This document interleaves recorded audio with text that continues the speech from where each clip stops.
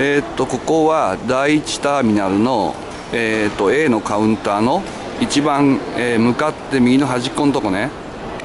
ここからこう行くと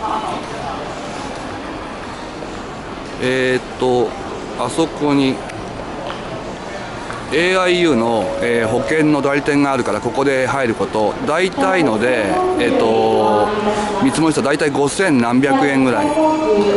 からこれだけ入っといてね障害保険とか死亡保険とかいろいろ。